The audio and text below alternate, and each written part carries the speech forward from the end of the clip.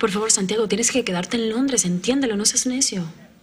No, tú no puedes regresarte todavía hasta que esto se solucione. Te tengo que colgar, luego hablamos. Hola, preciosa. ¿A que no sabes a quién fui a ver en la mañana? No, no tengo idea. Al piñatero. Wow, qué humor el tuyo para ir a verlo en la cárcel.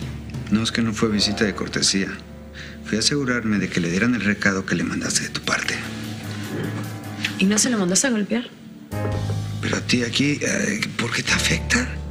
Tú me dijiste que lo odiabas. Sí, por supuesto que odio a ese impostor y me da lo mismo lo que le pase a él, pero a nosotros, Ignacio, ya estuvo buenos de tantos escándalos. Pero sí lo hice por ti, muñequita. Cada vez que pienso que ese asqueroso te puso las manos encima me dan ganas de matarlo.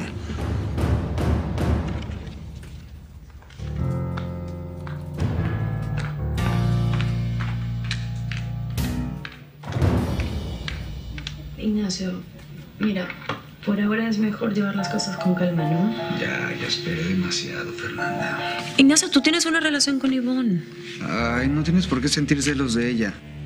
Tú sabes que yo solamente la usé desde el principio. Es más, si tú quieres, yo la termino ahorita. Miserable. Perdón por interrumpir. Qué bueno que los veo juntos. Me acaban de avisar de contabilidad que algo pasa con todas las cuentas del corporativo. Algo pasa de Cable. Están bloqueadas, Ignacio. No se puede hacer ningún movimiento.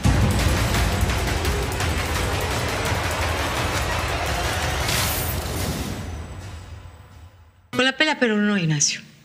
El contador habló al banco y dijeron que el bloqueo es real y que no lo hicieron ellos.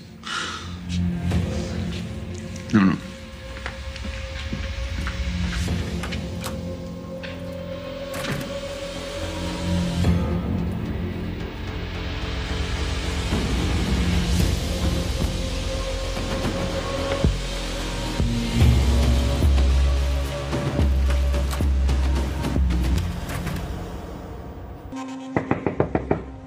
Yo hablo.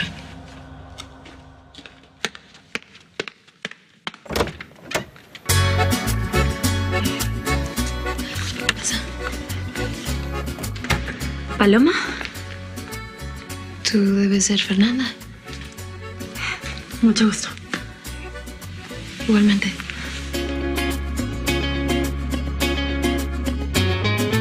A mí me garantizan que la policía no a mí me garantizan que la policía no va a entrar a investigarlos. Muchas empresas de este lado del charco tienen prohibido hacer negocios con mis clientes. Bueno, entiendo que nosotros no haremos negocios directamente con ellos. Ancina, ellos se entienden conmigo, yo con ustedes y todos contentos. Le quitamos la tierrita al mono y va para afuera, a circular libre como las aves. A ver, señora, ¿me puede decir el nombre de sus contactos en otras compañías? Digo, si los conocemos, podríamos trabajar para usted.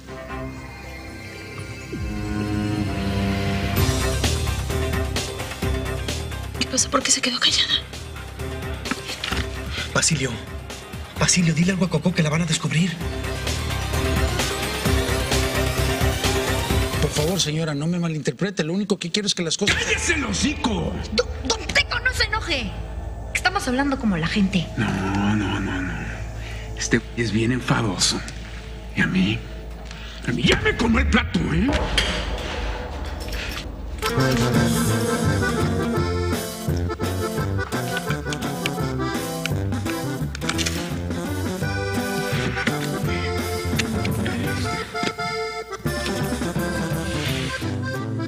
Pues para que le damos más vueltas, no. Quiten su morralla.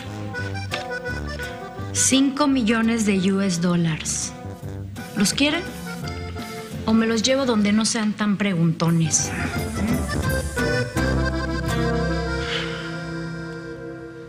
Ay, Dios. ¿Son billetes falsos? No, no, no, no. De verdad son 5 millones en efectivo. ¿Qué? Pe- ¿Pero de dónde salieron? De una cuenta secreta mía. Espero no perderlos.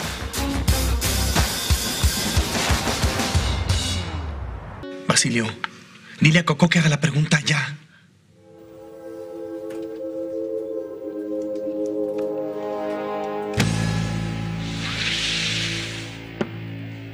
Cuéntenlo, pues. No se le queden viendo como los últimos de la yunta. ¡Momento! Ustedes se ponen muy gallitos pidiendo mucha referencia, pero están muy limpios para tener tiempo en esto. Bueno, eso es porque sabemos hacer muy bien las cosas, señora. Ve a voltearle las tortillas a la más vieja de tus ancestras, güerito. Ya sabes que quiero saber. ¿A quién le han lavado dinero? ¿Mm? Vámonos, don Teco, que aquí hay puro bla, bla, bla. A ver, a ver, por favor, esperen, esperen, no se vayan. Vladimir Nemov, Sergei Petrochenko, Dmitry Yasev, Konstantin Servo. Ellos son nuestros clientes. De los meros meros de la mafia rusa, ¿no? Así es, don Teco. Hacemos operaciones internacionales con la mafia rusa. Por hablar no se pierde nada. Yo también puedo decir que estoy casada con el güerito, aunque todavía no sea cierto. Esta es una copia de los acuerdos con nosotros. A ver. Écheles un ojo, don Teco. A ver qué opina usted.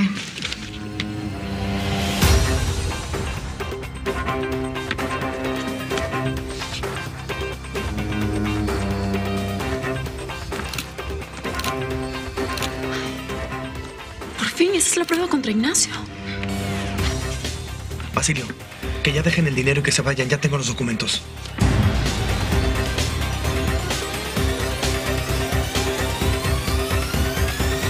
¿Qué pasó, Basilio? ¿Ya se fueron? Sí, jefe, ya salieron. No, no, no, todo tranquilo. Los muy brutos se tragaron todo el cuento. Excelente. Pasamos a la siguiente fase. Ya está, don Leo. Ahí lo veo donde quedamos. ¿Y ahora? ¿Qué sigue? Sigue llevar todo lo que grabamos a las autoridades. Con eso va a ser suficiente para que aprendan a Ignacio y a su cómplice. Pusimos un GPS oculto en el maletín para que la policía los pueda rastrear. Pero así tan fácil, ya, ya se va a terminar toda esta pesadilla. Sí, Fernanda. Ignacio y su cómplice van a tener que responder por sus crímenes ante la ley. Y ya saldremos de esta amenaza. Dios te oiga, Leonardo. Bueno, quedé de verme con Basilio en la estación de policía. Gracias por todas las dos.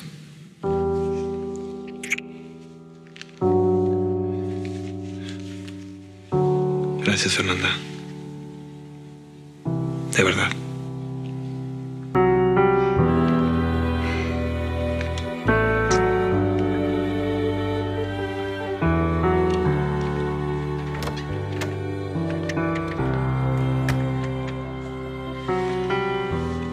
Bueno, pues. Parece que pues tú y yo tenemos un chorro de cosas que hablar. ¿Sí? Seguro que sí. Y pues cuando te vi besándote con Perico en ese restaurante, yo sentí que el mundo se me vino encima. Ay, Paloma, me imagino, te sentiste engañada, ¿no? Pues sí, muerta de celos. De verdad que no te miento. Mira, Leonardo me decía todo el tiempo que él no había besado a ninguna mujer. Él me lo juraba. Pero pues si yo lo vi con mis propios ojos, ¿cuándo yo me iba a imaginar que eran dos personas totalmente distintas, no? Pues sí. Debe, debe ser Leonardo. Voy por más té. ¿Dónde está Leonardo? ¿De qué me estás ¡No te hagas la imbécil! ¡Déjala, Ignacio! Lo sabía. Lo sabía, maldita traidora. Tú y Leonardo me tendieron una trampa. Llámale a Leonardo y dile que venga inmediatamente porque si no mato a su mujercita.